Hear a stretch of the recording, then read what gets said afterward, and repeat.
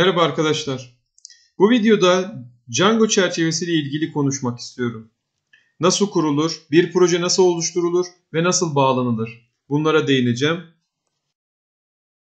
Öncelikle Django hızlı geliştirmeyi ve sade tasarımı teşvik eden üst düzey bir Python web çerçevesidir. 2005 yılında açık kaynak kodlu proje olarak geliştirilmiştir. Tecrübeli yazılımcılar tarafından geliştirilmiş olup web programlamadaki zorlukların çoğunu ortadan kaldırır. Böylece tekerleği yeniden icat etmeye gerek kalmadan uygulamanızı yazmanıza odaklanabilirsiniz. Bütün Python kodlarınızı kolaylıkla bir web programı olarak kullanabilirsiniz. Django çerçevesine bakacak olursak, Django gelen HTTP isteğine cevap verebilmek için 4 farklı kategoride işlem yapar. URLs Python dosyası gelen HTTP isteğini uygun görünüme iletir. Yine bu Python dosyası bazı katarları görünüme veri olarak iletebilir. Weaves Python dosyası gelen HTTP isteğine bir HTTP cevabı döndürür. İhtiyaç duyulan veri için Models Python dosyasına başvurur ve sayfanın ekranda nasıl görüneceğine template kısmı bakacaktır. Veri tabanından kayıtları çeken, ekleyen, düzenleyen Models Python dosyasıdır. Evet şimdi Ubuntu'da Django çerçevesini kuralım ve basit bir web sayfasını yayınlayalım. Bu Ubuntu e, bir sanal makine olabilir. E, e, cloud üzerinde kurulmuş olabilir ya da bilgisayarınız üzerine kurmuş olabilirsiniz. Hiç fark etmez. Ve bu aslında aynı süreçleri Windows içerisinde de uyguladığınız zaman yine Django'da bir web uygulamasını ayağa kaldırabilirsiniz. E, komut satırından önce bir güncellemeleri yapalım.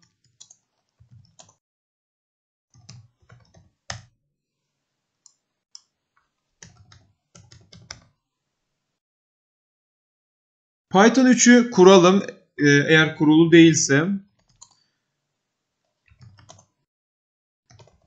Kuruluysa da aslında e, güncellemekte fayda var aslında. Şimdi Python yazdığımız zaman Python 3 olarak e, işlem görmesi için alice komutunu kullanacağım. Evet Django'yu kurmadan son bir de pip kurulumunu yapalım eğer kurulu değilse.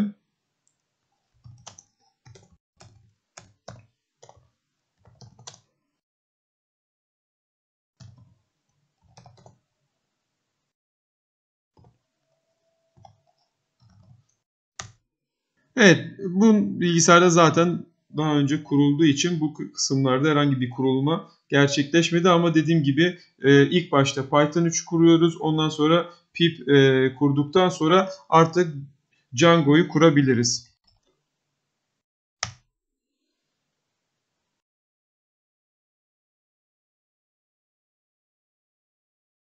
Evet kurulum tamamlandı. Ee, şimdi tabi burada bir proje oluşturmamız lazım ve bulunduğumuz konumda proje oluşturabilmek adına Django admin komutunu kullanıyorum. Ve start e, project diyeceğim. Mesela ismi project 1 olsun. Şimdi buradan klasörleri listeleyecek olursak e, project 1 isimli klasörün burada kurulduğunu görebiliriz. İsterseniz klasörün içerisine gelerek de bakalım. E, project 1 e, klasörün içerisinde tekrar project 1 diye bir klasör oluşturuyor ve manage e, Python dosyası burada ve project 1'in içerisine girdiğimizde de demin e, bahsettiğimiz işte e, URLs Python dosyası var. Ve tabii ki bizim oluşturacağımız view kısmı ve template kısımları olacaktır. Şimdi burada e, bu kısım açık kalsın. Tekrar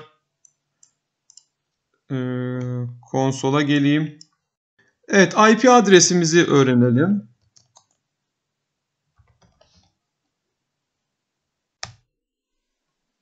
Evet burada IP adresi görünüyor aslında.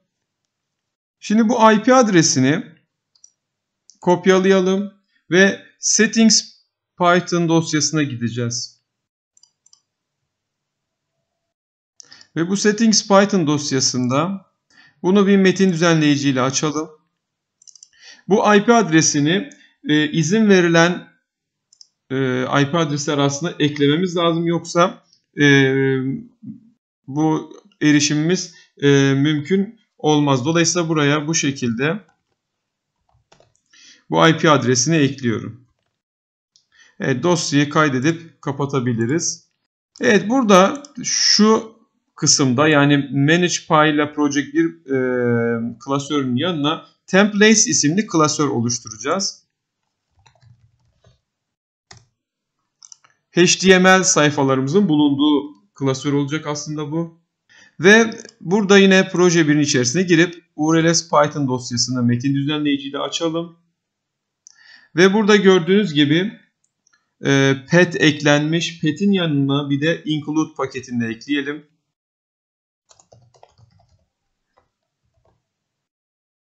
Ve demin e, eklemiş olduğumuz templates klasörünü burada tanıtmamız gerekiyor. URL e, Python dosyası içerisinde. Aynı şekilde burada yine pet e, tanımını yazıyorum ve burada evet bu şekilde templates ifadesini buraya eklemiş oluyoruz. Bunu kaydedip kapatalım. Şimdi tekrar settings Python kısmına gideceğim.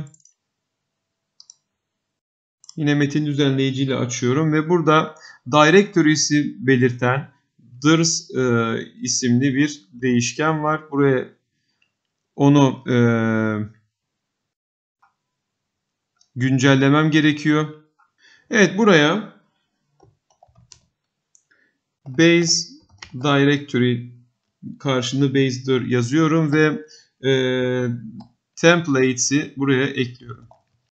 Evet bunu kapatıp templates klasörünü e, açalım. Templates klasörünün içerisine gelip Views Python dosyasını oluşturuyorum. Ve bu dosyanın içerisine açıp burada bu kodları ekliyoruz. Evet bu paketleri ekliyoruz. Ve buraya işte aslında bizim görünümleri burada e, oluşturuyoruz. Mesela bir tane index görünümü e, ekleyelim bir fonksiyon şeklinde tanımlıyorum ve e, gelen isteği karşılayacak e, ve bu şekilde e, index HTML'i cevap olarak dönecek. Evet bu şekilde e, bir index e, view'i tanımlamış oldum. Bunu da kaydedip kapatalım. Template içerisinde yine URLs Python dosyasını oluşturuyorum. Ve bunu da içerisine açıp yine e, bazı paketler ekleyeceğiz. Bu şekilde paketleri ekledik. URL hatırlarsanız gelen isteği aslında Vive ileten e, bir Python dosyası. Dolayısıyla burada da e, indekse göndereceğimizi söylüyoruz. E, index isimli demin oluşturmuş olduğumuz Views kısmındaki o Şurada e, Views içerisinde index tanımlamıştık. İşte URL gelen isteği e, nereye gönderiyor? Index isimli view'e gönderiyor. Bu index e, fonksiyonu da aslında index HTML'i e, cevap olarak dönecektir. Evet bu şekilde URL Python dosyasını oluşturup kaydedip kapatalım. Şimdi settings py dosyasının içerisine gidelim. Evet burada e, kurulan uygulamalar var. Installed applications. Buranın içerisinde e, çünkü biz sadece index.html diye bir dosya sadece o dosya oluşturmayacağız. Örnek e, tek sayfalık bir web sitesinde aslında CSS dosyaları, JavaScript dosyaları ve bunun yanında belki de e, farklı e, resim ve video dosyaları da olabilir. Dolayısıyla bunlar aslında statik dosyalar diye geçiyor. Dolayısıyla bu static files'ın burada kurulu olduğuna, burada ekli olduğundan emin olmamız gerekiyor ki bu statik dosyaları ekleyebilelim. O zaman static files directory kısmına e, gelelim. Evet buraya statik e, dosyaların demin bahsettiğim JavaScript, CSS gibi statik dosyaların e, hangi klasörde aranacağını burada zaten statik ile statik verilmiş ama aynı, aynı zamanda e, şu ayarlamanın da yapılması gerekiyor.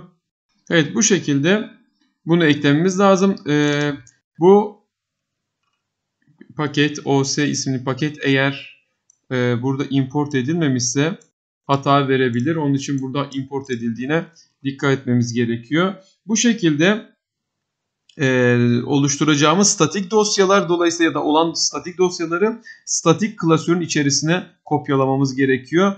E, burada da bu şekilde ayarlamayı yaptıktan sonra bunu kaydedip kapatabiliriz. Şimdi burada templates'in bulunduğu klasörde bir tane daha klasör oluşturuyorum. Bunun da ismini statik diye e, veriyorum. Ve bu statik e, klasörün içerisine masa üstünde e, bulunan bir örnek web sitesi var tek sayfalık. İşte CSS dosyaları burada, e, JavaScript dosyaları burada ve e, index sayfası, e, şey HTML sayfası burada ve bir tane de MP4 dos, e, video dosyası kullanıyor. O zaman bu CSS dosyalarını buradan kopyalayıp burada statin içerisine yapıştırıyorum. Aynı şekilde JavaScript'leri de kopyalayalım. Aynı statik klasörün içerisine bunları da yapıştırdım. Eğer ayrı klasör falan konulacaksa onların da ayarlaması yapılması lazım. Şu an ben hepsini statik klasörün içerisine e, kopyaladım. Yine statik klasörün içerisine yeni bir klasör oluşturalım. Videos isminde. Ve masa üstündeki Videos'un içerisindeki mp4'ü buraya kopyalayalım. Evet statik dosyalar kopyalanmış oldu hepsi. Index.html'i kopyalamadan önce bir e, burada aslında e, çünkü bu CSS, JavaScript bunlar e, statik dosyalarda. Dolayısıyla burada statik e, kütüphanesini aslında yüklüyoruz bu şekilde load diyerek ve e, gördüğünüz gibi mesela normalde bu Bootstrap min CSS e, deminki statik klasörüne kopyalamıştık burada görebiliriz. Dolayısıyla buradan e, bunu önüne işte şu klasör falan diye yazmıyoruz. Buraya statik diye ifade ettiğimizde gidip o statik klasöründe buluyor. Tabi ondan önceki ayarlamaları yapmış olmamız koşuluyla yani statik klasörümüz şudur diyerek o ayarlamaları yaptıktan sonra bu şekilde bütün CSS'leri, e, JavaScript'leri e, yine en aşağıdaki JavaScript'leri gördüğünüz gibi başında statik ifadesi e, bulunacaktır. Burada yine MP4 dosyamız vardı. O MP4 dosyası da şu şekilde gördüğünüz gibi yine statik ifadesi var ama dosyayı nerede arıyor? Videos klasörünün içerisinde arıyor. Şöyle bir MP4 dosyasını.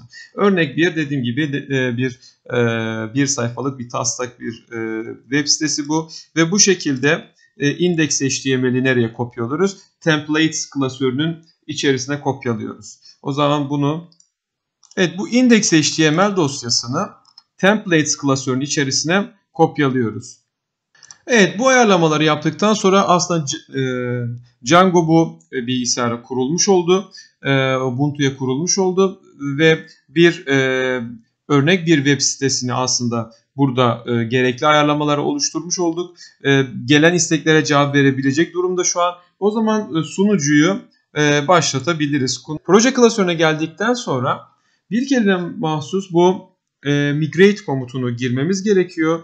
Dolayısıyla bu şekilde e, bütün hepsinin tamam e, ifadesi geldiği zaman e, herhangi bir sıkıntı olmadığını söyleyebiliriz. E, artık e, sunucuyu çalıştırabiliriz. Dolayısıyla bu şekilde Python Manage e, komutuyla birlikte run server diyeceğim. Ve buraya normalde IP adresini yaz, yazabilirsiniz ya da e, 000 yazarak aynı IP adresinde zaten başlatmış olacaksınız. Buraya da bir tane port girmeniz gerekiyor. Mesela 1453 portunu girmiş olduk. Evet eğer bu şekilde bir mesaj geliyorsa artık şu an istekleri alabilecek durumda e, sunucunun e, işte IP adresi ve port numarası olarak 1453'te başladığını söyleyebiliriz. Bunu test etmek için mesela Chrome'u açalım.